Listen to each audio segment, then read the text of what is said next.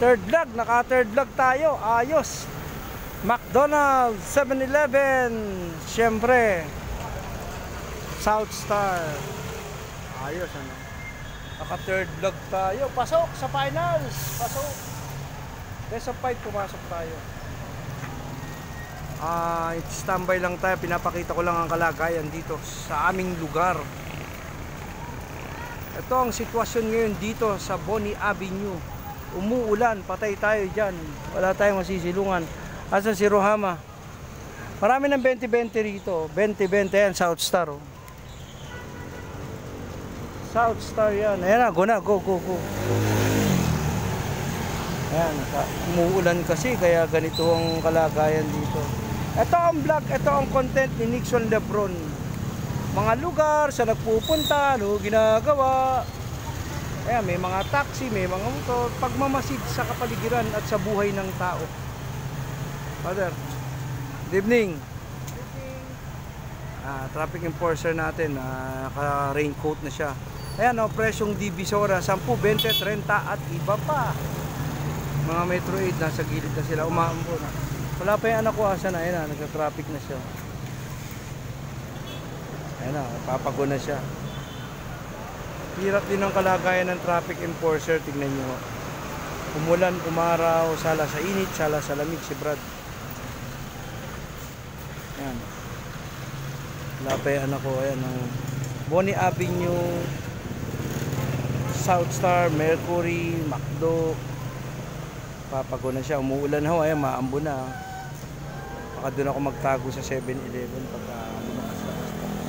Bumili ng gamot sa Mercury, inintay ko lang. Sarado na, sarado na ang ano nila. Uwihan na sila. Ayan, diamond, diamond. Ito, ah, medyo lumuluwag na. Okay na ang kabuhayan, marami ng tao. Puto bongbong ngayon, masarap na puto bongbong yun. Ayun, oh. Wala pa si Rohama.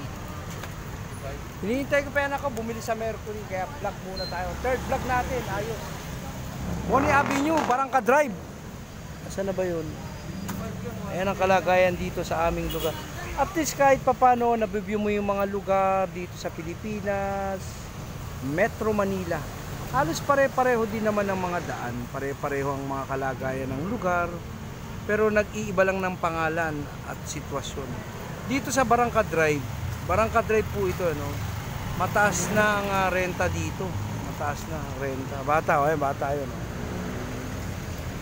Wala pa yung anak ko, sabi ko dito niya ako abangan. Eh. Hintayin natin siya. Ito vlog. Ito ang vlog natin. Ito estilo ng mga vlog ni Nixon Lebron. Mga kalye-kalye yan, South Star. Oh. South Star. Ayun, oh. Ano?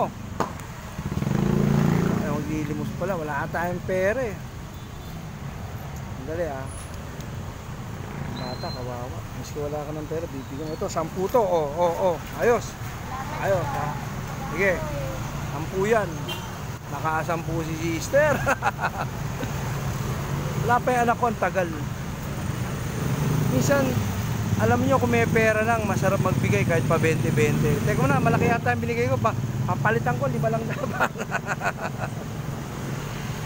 Wala kang magagawa sa hirap ng buhay, ang mga bata, lilimos.